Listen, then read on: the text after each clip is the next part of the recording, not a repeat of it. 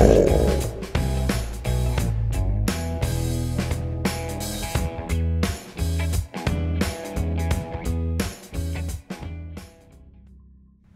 Hi, ladies and gents. Thanks so much for taking the time to come check out my channel for the interest in the channel, especially taking the time to subscribe, liking the videos, and for all that you do to help this channel get out to others, the shares and everything. Thank you so much. Infrared camera. Well, we're going to go with the infrared camera because minus 32 weather, some beautiful. Um, uh, I guess this one wanted to stop by and say hello, tell me that not to worry, Bruce. Some sky objects are coming on the way, and there's one now. It's a lot further away or smaller than that one that I got, which I will show you right after this one. Uh, remember, the big object coming into um, Earth's atmosphere, I was ever so lucky to be able to to catch that. So we're looking at it here slowly as it's going by. So it is something that caught on fire. It's something it could be debris. It could be a meteor. Um, all the crap that they're talking about with, uh, um, well, yeah, Russia, China, and the states, I assume, do their part in putting a lot of garbage out there in the sky. And listen, when you look up in the sky, you film all night, and this object is not an object you're going to see very, very commonly. It's it's it takes a while to see them, right? Unless it's a meteor shower night, obviously. So we're just quite simply um, changing the color filters here so we could see um, it interacting as it arrives. And you can see it there catching on fire. It's an object that is streaking a light in the sky. And this was just a day ago. So I said, I'm going to film that and get it up. I do want to go see um, the other one that I did get, which was coming in across and straight. It was beautiful. I was actually very lucky to get it because you see, usually we only catch these on the corners, right, of the image because they're hard. Um, you, you there's no way of knowing when it's going to hit, when it's going to come in. It's it's too quick, right? This object, um, I was able to capture it and watch it come down to the moon. So there are a lot of objects that come down to the moon. Are there objects that Elon Musk and NASA are doing launches and that's debris falling to the moon? Who knows? Maybe there's someone there uh, doing their own launches on the moon. But when you see this object going by, you're like, whoa, wait a minute there. This is legitimately an object, maybe even several objects. Here's the one that I got. Um, wow, in 2021 now. Hey, the life life is going ahead quickly. It's a beautiful one. It's a nice, close uh, capture. Or again, it always comes down to its relative size, but it wasn't small, and you can see it there entering in perfect view. We see it come in, and we see it fizz out or disappear, whether it be something that burned up or not. Let's head over to see the sun, and then we're gonna go see a couple of other things on the moon. Thanks for watching, everyone.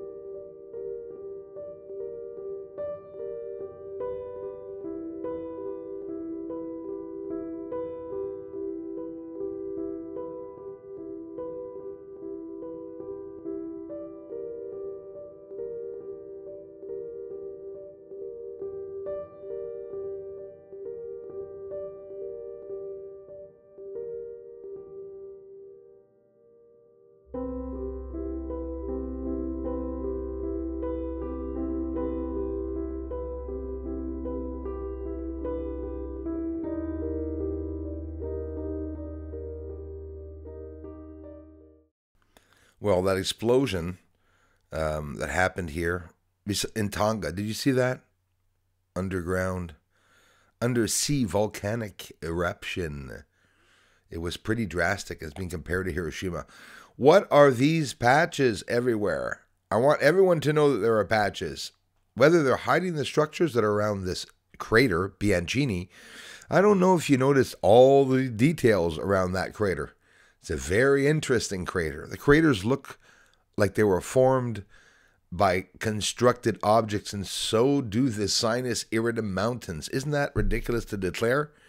I'm just visually um, sharing what I'm visually seeing. Why is there a pile of dirt at the end of two lines? Come on, guys. They're producing something up there industrially, right? It's an industrial environment up there on the surface of the moon. That's that's how I look at it. Here beside Aristarchus crater in that little white gray circle in the center, you can see a lot of elevation and objects, but these objects have the same reflectivity as the surface and they're near impossible to see, but not impossible to see. That's always the way I say it. They're right there, and there's a hell of a lot of them, whether they're setups for electricity or not. When you look at this crater that has a clear 90 degree angle twice, it cuts and turns twice, has dirt again coming out of a line, or it's buried over a structure to hide it, but you could clearly see it, and there's no filtering there.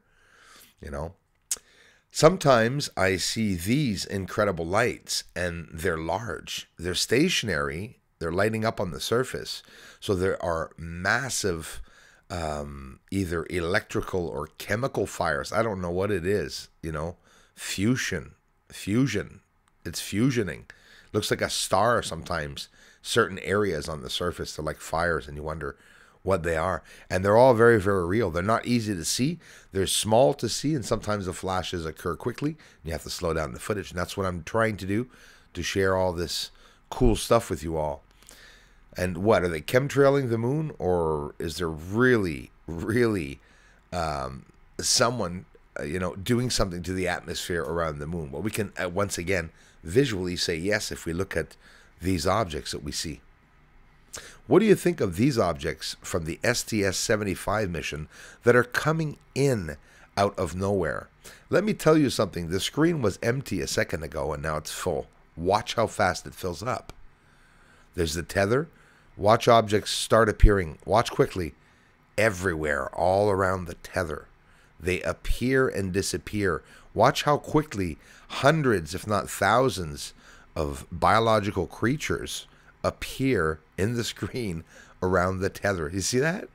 There was nothing in the screen a second ago, and now all these objects are, you know, are appearing. Guaranteed that NASA was filming them, probably wondering what the hell am I filming? Or they're just filming what they always film outside the environment. Maybe would you think that that's what NASA um, NASA's supposed Apollo 11 astronauts would have seen as they were floating around the atmosphere? All these lights, right? Look at them all, and look at them appear and disappear. Are they coming in from portals? Because that's how I believe the whole universe is probably made up. Watch how quickly they appear, my friends. Seriously. Look, there's like a handful of them Watch what happens. I'll speed it up a bit more too. Seriously, look at them all arriving. Are they examining the tether? See them all arriving? There was nothing there, and then all of a sudden they're all there. So, either either they can make themselves invisible, or they're really appearing out of nowhere, like bioluminescent creatures. We can see one very, very well here. A second one very, very, very well. They look like those space jellyfish, right? just like a flat sort of mushroom like sheet.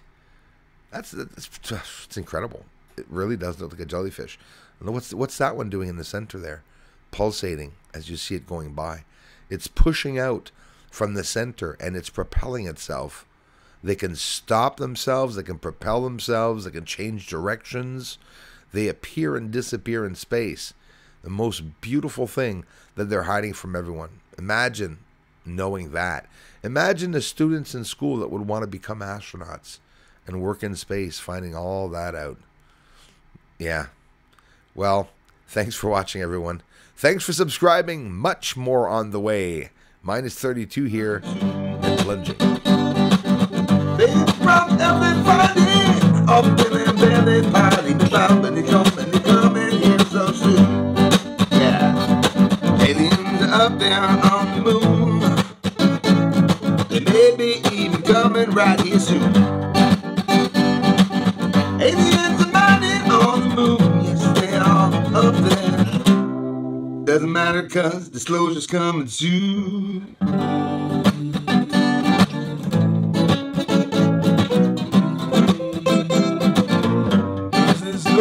Soon.